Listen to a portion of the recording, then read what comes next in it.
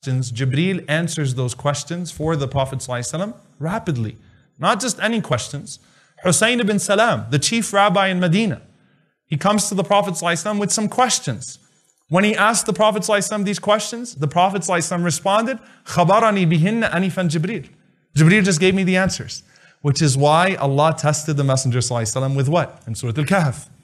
To teach him to say, Insha'Allah when Allah wills, because the Prophet ﷺ became accustomed to getting asked the question, Jibreel gives him the answer. So the Prophet ﷺ was taught that it comes from Allah subhanahu wa ta'ala. And finally, in this regard, uh, Hadith Jibreel. When I told uh, my mashayikh, when I told my teachers that I was going to teach Jibreel, they were like, oh, mashallah, Hadith Jibreel. I'm like, no, Jibreel. Like Sirat Jibreel. They're like, what are you talking about? There's no book. There's what do you? Why would you teach the Sirat of Jibreel? I'm like, well, it's different because Hadith Jibreel is the first hadith you learn when you study. It really is. It's the most important hadith in Islam. It is, by consensus of the scholars, the most important hadith of Islam. It's been narrated by multiple companions with greater context from some of the narrations. The most detailed one is from Abu Dharr radiallahu ta'ala anhu. Abu Dharr says, we used to sit with the Messenger sallallahu and when someone came from outside, they didn't know who amongst us was the Prophet of God. Why? He dressed like we dressed. He sat on the ground like we sat on the ground. He distinguished himself only by his manners. Even when the Prophet ﷺ did the hijrah, when he migrated to Medina, the Ansar didn't know which one was the Prophet ﷺ. Was it him or Abu Bakr? So they're just waiting to see some form of indication as to which one's the Prophet ﷺ. So Abu Bakr took something, a cloth, and he did this. So they all charged the Prophet ﷺ. They didn't know who, how, who he was when they came. So outsiders would come expecting to see this powerful man, right? That's sitting on a throne while everyone else sits on the ground. They just saw him sitting with everyone else on the ground. So Abu Dhar says, we insisted the Prophet ﷺ sits on a chair. He refused. Then Abu Dhar says, what we did instead was we pushed the dirt together until we made a mound so that he's still sitting on the ground, but at least when someone comes from outside, they know who he is. He said, the Prophet ﷺ accepted that. When we did that, Abu Dhar says, one day we were sitting and he said, We used to wait for people to come and ask the Prophet ﷺ questions that we were too shy to ask him, and we would listen to the answers. So one day we're sitting, and suddenly a man appears. And this is how he describes him. He says his thobe was extremely white, not wrinkled. And, you know, having an extremely white thobe while walking in the desert of Arabia is a pretty tough task. Okay? No wrinkles, no dirt on it. His hair was exceedingly black. And he said that he smelled amazing. He had the best smell that we'd ever seen. And he said the per- most perplexing thing about this man, he wasn't a resident because he didn't live amongst us, but he had no signs of travel on him. I mean, he, he looked as fresh as they come. You know, they didn't have first class travel back then. You don't get off a plane and look fresh if you come off of first class and look miserable if you come off of coach, right? This is the desert of Arabia. So like we're looking at this guy, no bags under his eyes. He looks he looks really really clean really, really good, and we have no idea who he is. And Abu Dhar says he resembled Dihya. So it shows you that he didn't look exactly like Dihya from close up. He wasn't Dihya, he resembled Dihya. Radiallahu ta'ala anhu. So then Abu Dhar says, the man came and he stopped at the entrance. And he said to the Prophet sallallahu alaihi wasallam, Assalamu alayka ya Muhammad. Peace be unto you, O Muhammad. The Prophet said, Wa alaykum assalam. He said, Adnu ya Muhammad. Do I have permission to come close to you, O Muhammad? The Prophet ﷺ said, Sure. Now, they weren't used to this as well because most of the people that came and asked the Prophet ﷺ questions were Bedouins. They didn't have any, they just walked right in, sat in front of the Prophet ﷺ and started asking him questions. So the adab was also flawless, the manners. Like, Adnu ya Muhammad, should I come close? The Prophet ﷺ said yes. Jibreel came close. He said, Should I come closer? The Prophet ﷺ said yes. Until Jibreel was sitting right in front of the Prophet ﷺ and he put his hands on the knees of the Prophet ﷺ. Abu Dhar says the Sahaba huddled around. What's going to happen here? What's he going to ask? So, the, so Jibreel says to the Prophet Ya Muhammad, akhbirni an islam Oh Muhammad, tell me about Islam. So the Prophet gives him the five pillars of Islam, that you bear witness that there is no God but Allah, and Muhammad is the messenger of Allah, that you establish the prayer, that you pay the zakat, that you fast Ramadan, and do hajj if you're capable of doing hajj. Okay? Now here's the thing. The man says, sadaqt. You've told the truth. Abu Dhar says, we all looked around at each other. وَأَنْكَرْنَا Like we were like, who do you think you are to say sadaq to the Prophet ﷺ? You've told the truth. What is the arrogance? Like we thought this man had good manners, right? He says to the Prophet ﷺ, you're right, you've told the truth. Then he says, أخبرني عن الإيمان. Tell me about faith. The Prophet ﷺ said to believe in Allah, to believe in the angels, subhanAllah, it's Jibreel sitting in front of him, to believe in the messengers, the messages, the day of judgment, and divine decree. He says, Sadaqt, you've told the truth. He said, Akhbirni an ihsan. Tell me about excellence. The Prophet said, "And tara," that you worship Allah as if you can worship Him. And when you realize, as if you can see Him, you worship Allah as if you can see Him. And when you realize you can't see Him, then you know that He sees you. He says, sadaqt. Then he asked the Prophet the frequently most asked question in the seerah. Mata sa'a? Akhbirni an sa'a. When is the hour? This is the frequently most asked question to the Prophet ﷺ. Everyone wanted to know when the day of judgment was. Not, not because, not the same reason that Idris wanted to know when he would die, right? They just wanted, the mushrikeen, the disbelievers would ask the Prophet ﷺ mockingly, but with a hint of truth, like when's the day of judgment? When are we going to die? Right? So Bedouins would interrupt the Prophet ﷺ, sometimes even in his khutbah, and ask the Prophet ﷺ, Mata sa'a, when is the hour? And the Prophet ﷺ, he always gave a productive answer. So he would say in one narration, ماذا عددت لها? What have you prepared for it? Another narration, ماذا قدمت لها? The same thing, what have you put forth for it? Another narration, he said, look, by the time your son has gray hair, you would have already faced your resurrection. So even if the day of judgment doesn't come, death will already come to you. Your resurrection has started as far as you're concerned anyway. But when Jibreel asked him that, what did the Prophet ﷺ do? He put his head down. So Abu Dhar says we were confused. To make it even more confusing, he said, Ya Muhammad, tell me about the hour. The Prophet ﷺ said nothing.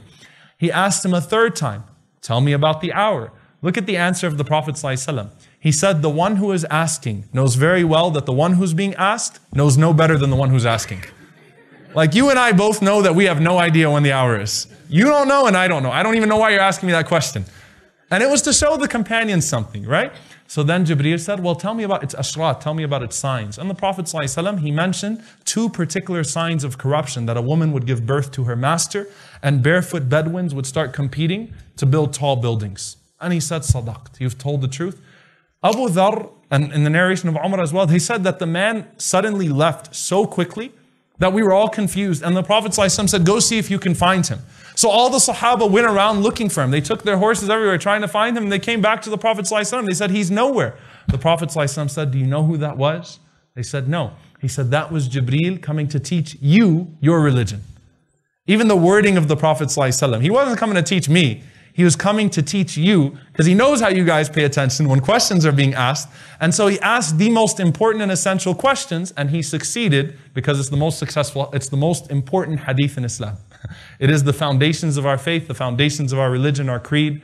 Everything is highlighted in that one incident, subhanAllah. So that's one way that the Prophet ﷺ, uh, was came to. Now, what are some, now how does Jibreel act throughout the seerah? How does he come to the Prophet ﷺ through the seerah?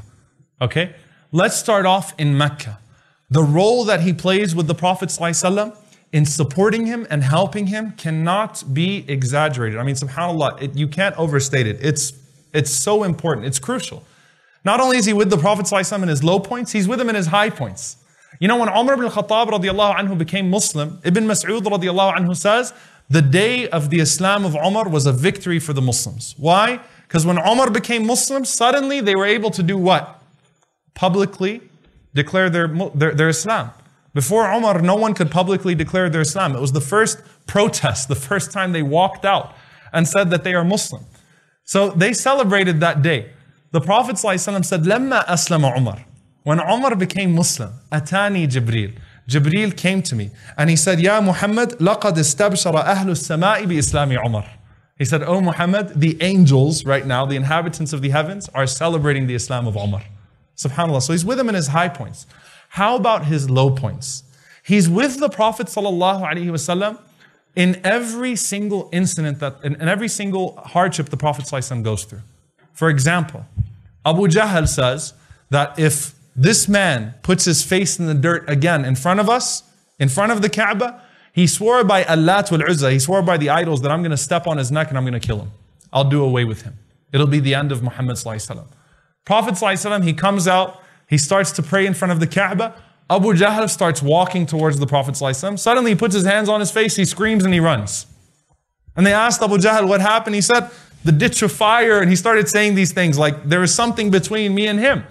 When the Prophet ﷺ finished his salah, the companions came to him. They said, what happened? He said, لو فعله لأخذه جبريل. He said if he would have tried that, Jibreel would have killed him. like I know Jibreel is there, and Jibreel would have done away with Abu Jahl. But it's also emotional support. And not only did Jibreel come to support the Prophet ﷺ emotionally, he also supported his family. Remember Khadija radiallahu ta'ala anha? The Prophet ﷺ during the boycott, when they were living in those harsh circumstances, they lost everything. Khadija lost her money, he lost his money, they've lost their, you know, their status, they're being, they're being uh, ridiculed in society, their, you know, food is not reaching them properly They barely are surviving, and Khadija is an older woman at that point as well. And Jibreel enters upon the Prophet ﷺ as Khadija is making whatever food that she has.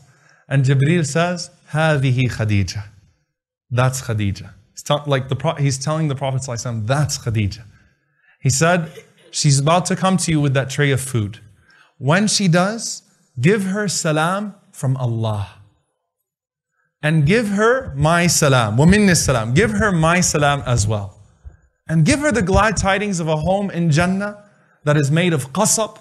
La sakhaba fihi wa nasab. It's made of pearls and there is no, there, there's not going to be any noise or exhaustion or fatigue there. Meaning let her know that she's about to have a place in Jannah that far outdoes anything that she sacrificed in this world. So the Prophet ﷺ, when Khadija comes, the Prophet ﷺ says, Hada Jibreel. Here is Jibreel. Gives you salam from Allah. And he gives you salam from himself. And he gives you the glad tidings of a home in paradise made of pearls, and there is no fatigue, no noise therein whatsoever. Khadija radiallahu anha demonstrating her spiritual maturity. She says, As for Allah, huwa salam. Allah is peace. As for Jibreel, wa alayhi salam. And peace be unto him. And she said, Insha'Allah, we will be patient. Khadija radiallahu ta'ala anha, she died after that. She died shortly after that incident took place. And the Prophet ﷺ obviously was devastated. And when Abu Talib died as well now, obviously the Prophet ﷺ now was ridiculed far harsher and he was hit far harsher. And subhanAllah, there is a narration from Anas ibn Malik radiallahu ta'ala anhu. And this narration, the, the sanad is disputable, but the scholars, the chain is disputable, but the scholars still use it to show that incident, what was happening during the muqata'a, during the boycott that once the Prophet ﷺ was hit in the face and there was blood running down his face. This was just a random time. Someone hit him with an object and blood was running down his face. And the Prophet ﷺ, he just sat down grieving. So Jibreel came to him. And Jibreel said to him, Ya Muhammad Malak, what's wrong? And he said, Look at what my people are doing to me. And Jibreel alayhi salam says, Do you want me to show you an ayah? Do you want me to show you a sign? The Prophet said, Sure. He said, Ud'u tilka shajara Call that tree to come towards you. Now you might be thinking, yeah, whatever, trees moving, tree.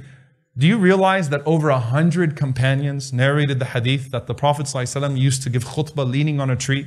And when we built him a manbar, when we built him a pulpit, and he went to that pulpit, the tree started to cry and shake. And the Prophet ﷺ went to it and comforted it until it stopped crying. Those things happen to the Prophet ﷺ. Or how about the tree that is in the middle of nowhere on the outskirts of Jordan, in the middle of this desert, full, its branches are still full. It looks like, subhanAllah, it's as full as they come, it's green as they come, and there's nothing around it. Everything around it has, has died. And that was the tree that the Prophet ﷺ rested under when he went to Asham, when he went to that area. So here, when Jibreel tells the Prophet ﷺ, look, ud'u tilka shajra, tell that tree to come towards you. It's nothing new. The Prophet ﷺ, he calls the tree and the tree comes to him. Jibreel says, now tell it to go back. The Prophet ﷺ tells it to go back. Jibreel says, Radit. Are you happy? Are you pleased now? And the Prophet ﷺ said, Hasbi. Yes, that's enough. Right? So Jibreel is coming to the Prophet ﷺ and he's reassuring him. Now, what's fascinating here and remarkable here is that Jibreel comes to the Prophet ﷺ at his lowest moment and then his highest moment. What was the worst moment of the Prophet's life? What was the worst day of his life? In his own words, the last day of Ta'if. After two weeks of being humiliated, after two weeks of being rejected in the worst possible way, mocked and slandered, he's made to walk for 30 kilometers. That's 18 miles, about 18 miles, through a narrow row of people children and, and subhanallah people that had mental issues and they were hitting the prophet ﷺ cursing him, and the blood was running down his body, and the stones were in his sandals, and the Prophet ﷺ was in the middle of nowhere. He didn't even know where he was after that. And he calls Allah subhanahu wa ta'ala, complaining to Allah subhanahu wa ta'ala. Who does Allah send? Jibreel. Jibreel comes to the Prophet ﷺ and he has with him Malakul Jibal, an angel that can move mountains. And Jibreel says, Ya Muhammad, we have heard your complaint. And he says, With me is an angel, Malakul Jibal, an angel that can move these mountains.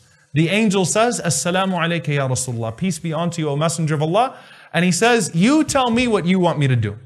And he starts to suggest him. He said, If you want, I can take Al Akhshabain, the two mountains that are on, you know, if any of you have ever been to Hajj or Umrah you know where Ajyad is, that's where one mountain is, the other one on the other side of Ta'if. He said, I'll crush them all. I'll do away with them all. Whatever you tell me to do. The Prophet ﷺ said, even in that moment, he said, No, because maybe there will be from their children people that will worship none but Allah.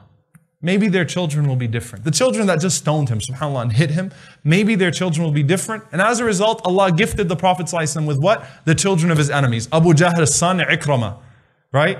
Uh, Al-Walid ibn Mughira, his son Khalid. Al-As, his son Amr, radiallahu anhum ajma'een. The greatest, some of the greatest companions, their fathers were the greatest enemies of the Prophet. Allah gifted the Prophet with those people because the Prophet never lost hope in his people. So that was the lowest moment of, of the Prophet sallallahu life. That was what he called the worst day of his life. Now here's the thing. Allah says, "Inna ma'al usri yusra." With hardship comes ease. Right after the lowest moment of his life, Rasulullah says, while I was sleeping, Atani Jibril fi khudrin mu'allaqin bihiddur. Jibril came to me wearing green garments with rubies hanging with rubies hanging from those green garments. And these this is libasul jannah, the clothes of the people of paradise. So Jibril came and it was clearly different. And he said, once again, Jibril opened my chest, he took my heart, he put it into a vessel of Zamzam, and he poured into it al-iman wal-hikmah, more faith and more wisdom, increasing the Prophet ﷺ, renewing the Prophet ﷺ. This time the Prophet ﷺ knows what's happening and he put his heart back and he sewed it up again. And Jibreel alayhi salam told the Prophet ﷺ to mount al-buraq. There was a particular animal, al-buraq, and there is no animal like that animal that we see. And subhanAllah, Al Qadi Iyad, he narrates that Al Buraq was shy of the Prophet. And Jibreel told Al Buraq, Look, there is no greater person that has ever mounted you than this man. Accept it. And the Prophet, he mounted Al Buraq, and Jibreel took him somewhere. Where did Jibreel take him? Before Al Aqsa. Took him to Medina. Okay, this is actually a long hadith in Nasa'i. The Prophet ﷺ says, We got to a place and Jibreel told me to descend and to pray. So I descended and I prayed. And the Prophet ﷺ said, Jibreel said to me, Do you know where you've prayed? I said, No. He said, This is Tayyibah. This is the pure land. Why did he say Tayyibah? Because the Prophet ﷺ went to Ta'if because he saw this land with greenery and palm trees. And he thought that was Ta'if. It could either be Ta'if or Medina. They look exactly alike. They have the same climate. Ta'if made more sense to the Prophet ﷺ because it was right next to him and it had greater people in terms of status and lineage. And Jibreel is telling him, this is where you were supposed to go, and this is the land of your hijrah. This is where your hijrah is going to be to. This is where you're going to migrate to. Then the Prophet ﷺ mounted again, and he was told to dismount and pray. And Jibreel told him, Do you know where you've prayed? The Prophet ﷺ said, No. He said, This is At-Tur, the place where Allah spoke directly to Moses, to Musa alayhi salam, which is a sign of what? That this is about to happen to you too. Then he told them to mount once again, and they reached another land, dismount and pray. The Prophet said that he asked me, Do you know where you've prayed? I said, No. He said, This is Bethlehem, the place where Isa alayhi was born. Jesus, peace be upon him, was born, which is a sign that this is a continuation of his message. Then he said, finally, we arrived at Al-Aqsa. Allah subhanahu wa ta'ala liberated. Allahumma ameen. We arrived at Al-Aqsa, the place where Ibn Abbas anhu says there isn't a single space there, not a handspan, except that an angel or a prophet has prayed there. Not a single handspan. And Rasulullah says, the Anbiya were gathered for me. Prophet I mean, this is a pretty amazing sight. He walks in and he sees the Anbiya gathered in rows waiting for Salah. And he says, Jibreel took me and he put me in the front and he said, Ya Rasulullah, lead them in Salah. So he said, I led them in Salah. Then Jibreel salam took my hand and we started to ascend. And he said, every time we got to one of the gates of the heavens, there was an angel at that gate of the heaven that said, Who is it? And he said, Jibreel. And he said, Man ma'ak? Who's with you? And he would say, Rasulullah sallallahu alayhi wasallam. And the angel would say, Ursila ilayh, has he been sent for? And Jibreel would say, Na'am, yes. And the angel would say, Marhaban bin Nabi salih. Welcome to you, O righteous prophet. Welcome to this righteous prophet. SubhanAllah, this is right after the rejection of Ta'if. The angels are welcoming him in the heavens. The prophets are welcoming him in the heavens. The Prophet said, We continue to ascend. Suddenly, Jibreel alayhi salam, he had two glasses in his hand. One of wine and one of milk. Or one of milk and one of wine. Okay? One of milk and one of wine. And he presented them to the Prophet. Now, is wine halal? What? Are you guys serious? I heard like 20 people just say yes. Is wine halal? Is wine halal? Are you sure? Okay, good, because I'm going to change the topic completely if you guys say wine is halal. And we're going to, we're going to have a fiqh discussion right now as to what khamr is. Don't give me that grapes and non-grapes nonsense, all right? Wine is haram, okay? but here's the thing. If Jibreel is presenting you wine, is it halal?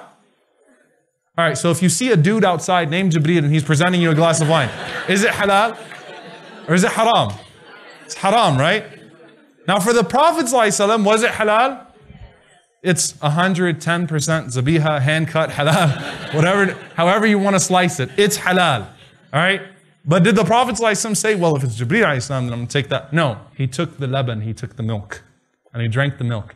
Jibreel made a comment. Jibreel said, Alhamdulillah alladhi hadaka lil fitra. All praises be to Allah who guided you to your natural goodness. لو أخذت الخمر غوت أمتك. If you would have drank the wine, your nation would have gone astray. Meaning Jibreel was happy for us as an ummah that the Messenger ﷺ chose the pure drink. He chose purity. He chose what his fitrah led him to. And that was a good sign for the ummah of Rasulullah sallallahu alayhi. The Prophet sallallahu said, we also saw on that day al-kawthar, the fountain, that the Prophet sallallahu would serve his followers from on the day of judgment. And Rasulullah sallallahu he asked Jibreel sallam, what is that? Jibreel said, this is the fountain that you will serve your followers from on the day of judgment. May Allah subhanahu wa ta'ala make us amongst them. Allahumma ameen. Then we continue to ascend, and the Prophet obviously met multiple prophets. He met numerous prophets, starting with Adam alayhi salam, ending with Ibrahim alayhi salam. When he reached Ibrahim alayhi salam, he saw another sight. He saw Al-Baytul Ma'mur. Baytul Ma'mur, the frequently visited house. And he asked Jibreel, what is that? And he said, This is Al Baytul Ma'mur. It's the equivalent of the Kaaba on earth, where 70,000 angels enter every day and do tawaf, and they never return. So that's Al Baytul Ma'mur. The Prophet obviously continued to ascend until they reached Sidrat al Muntaha. And when they reached Sidrat al Muntaha, Allah subhanahu wa ta'ala tells us what in the Quran? أَفَتُمَارُونَهُ عَلَى مَا يَرَى Are you questioning what the Prophet ﷺ saw? All right? And he says, وَلَقَدْ رَآهُ نَزْلَةً أُخْرَى He saw him a second time. Who is Allah talking about? Jibreel. He saw him a second time. Aisha radiallahu anha was very, very harsh with anyone that tried to say otherwise. Okay? Nazlatan ukhra, the second of two times, the only two times the Prophet ﷺ would see Jibreel in his full form. Where at? عند سدرة المنتهى. When they reached the lot tree. The lot tree is the boundary of Jannah and, and the rest of the heavens and the earth. Meaning what? No one goes beyond the lot tree. No one goes beyond Sidrat al-Muntaha. And the Prophet ﷺ this time looked at Jibreel alayhi salam when they reached Sidrat al-Muntaha and once again sees him in his full form. This time he sees him from top to bottom. The first time he saw him, bottom to top, right? In his full form. The Prophet ﷺ said that Sidrat al-Muntaha, describing it, he said the colors of that tree were indescribable, right? Now, here in Dallas, mashallah, we have a lot of places to scuba dive and snorkel, so we've seen the bottom of the ocean, right? Right? No, okay? if you've ever been to the bottom of the ocean and you've seen the colors at the bottom of the ocean, are those colors describable? Are they? Not really, right? They're amazing. They're things that you've never seen before. Imagine Sidrat al-Muntah. The Prophet ﷺ said, Look, I can't describe to you the colors of that tree. But as the Prophet ﷺ continued to go forward and he reached Sidrat al Muntaha now and they were walking through, he said, Nadartu ila Jibril. So I looked at Jibril. Why? The entire journey goes like this Jibril, what's that? Ma hada ya Jibril. Ma hada ya Jibril. What's that? What's that? Who is that, ya Jibril? He said, but this time, Nadartu ila Jibril. فإذا هو كالحلس البالي من خشية الله. He said Jibril was like a flattened rug out of his awe of Allah subhanahu wa ta'ala. He was looking up and he was flattened, meaning, subhanAllah, he was in complete awe of Allah subhanahu wa ta'ala, knowing the closeness that he had to Allah subhanahu wa ta'ala at that point of Sidrat al Muntaha. And the Prophet ﷺ entered and Allah subhanahu wa ta'ala spoke to him directly, the same way he spoke to Musa alayhi salam, to Moses, peace be upon him, and he gave him the same order that he gave to Musa alayhi salam to establish the prayer. And the Prophet ﷺ on his way down, and obviously I'm skipping some of the details of Al-Isra al-Mi'raj because of time, on his way down, the Prophet ﷺ said one more sight, one more sight that he saw. Rasulullah ﷺ said, رَأَيْتُ الْأُمَمِ Suddenly I saw nations of people. They were standing behind their prophets. Each prophet had one or two or three or four or a hundred or whatever it is, had someone behind him. Right? And he said there were actually some prophets that had no one behind them at all. I just saw all of these nations, all of these prophets with their nations behind them. He said, then suddenly I saw this huge nation. Now realize the Prophet ﷺ, at this point of his life, has a very few, I mean, he has a very small amount of followers. It's not that many followers, right? This is before Medina, before the Hijrah. You're talking about, you know, a hundred something followers. and the Prophet ﷺ said, I saw this huge nation and I asked Jibreel, I said, Jibreel, is that mine? Jibreel said, no. I said, Jibreel took me and he turned me around and he said, I saw a nation that was far bigger than that one. It dwarfed that nation. And Jibreel said, Ha'ula ummatuk. That's your ummah. SubhanAllah, can you imagine if we were standing there that day when Jibreel showed the Prophet ﷺ billions of people and said, That's your ummah. Those are the amount of people that you're going to have that are going to follow you. The Prophet ﷺ said, Then we returned. And subhanAllah, the next day Jibreel came to the Prophet ﷺ, this time in his human form. And he came to Rasulullah ﷺ at the time of dhuhr. The command of prayer has been given to him. So he came to him at the time of dhuhr and the Prophet ﷺ said, فَأَمَّنِي فَصَلَّيْتُ مَعَهُ He led me in prayer and I prayed behind him. And he came to me at Asr and did the same thing, Maghrib, Isha and Fajr and did the same thing. Then he came the next day at the end of those times and led me again and then told me that the salah is between these two, that your window of time is between these two prayers. Each salah is to be prayed between those two timings that we prayed together. And subhanAllah, it was, it was common knowledge amongst the companions actually. This is an interesting historical fact without going too far into it, that some of the companions thought the Prophet ﷺ led Jibreel in salah.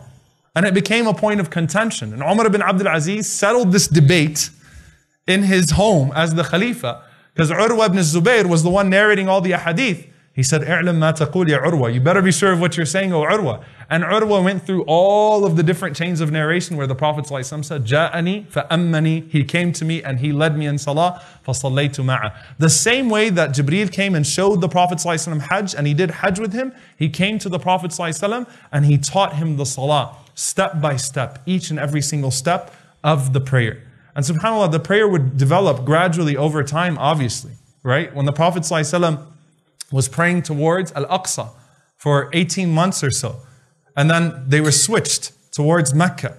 And Jibreel alayhi salam, he came to the Prophet and the Prophet he said, what happened to all the other, what, what happened to all the other prayers though? And Allah revealed what? وَمَا كَانَ اللَّهُ لِيُضِيعَ إِيمَانَكُمْ Allah subhanahu wa ta'ala is not going to let your faith go to waste, your prayers go to waste. Now as a final note here, before we break for Maghrib, just something very interesting here. Very, very cool that you might not have thought of. Do you ever mention Jibreel in your salah? Do you mention Jibreel in your salah? All right, let's go through the different ways that you could possibly mention Jibreel in your salah.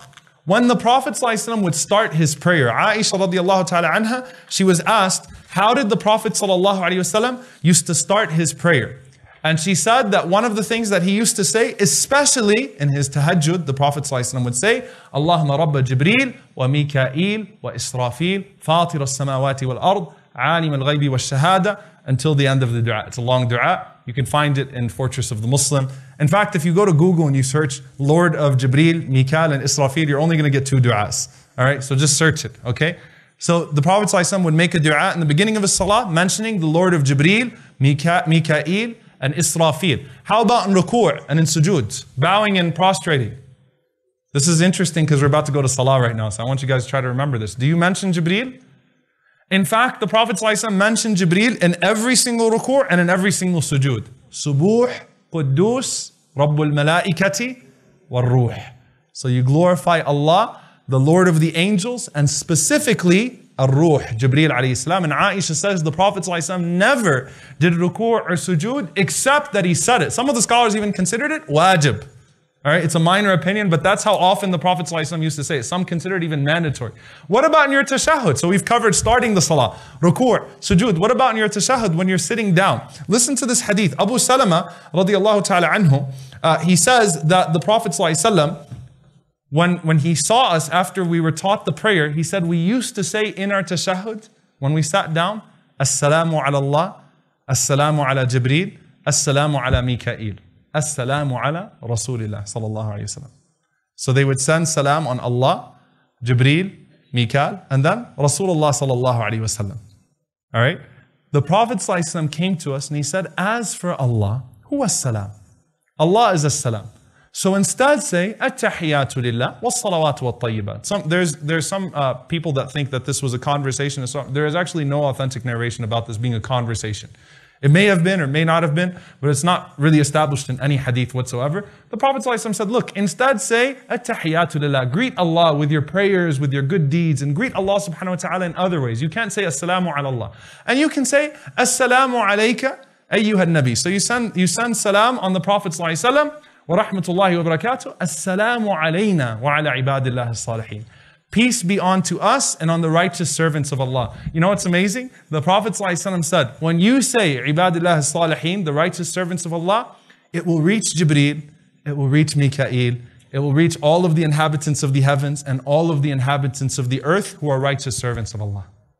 So when you say Ala Ibadillah salihin, you're actually making dua for Jibreel as well. You're sending salam on Jibreel as well. Finally, when you finish your prayer, Aisha radiallahu anha says, and this is the second of the two du'as that the Prophet used to say, Rabba Jibreel. The Prophet would say, Allahumma Rabba Jibreel wa Mika'il wa Israfil, a'idhni min harri nar wa adhab al-qabr. Protect me from the punishment of hellfire and the punishment, the heat of hellfire and the punishment of the grave. So there is actually a mention of Jibreel in every part of our salah. And with that, inshallah, we'll break for salah. And when we come back, inshallah, it's the best part of class.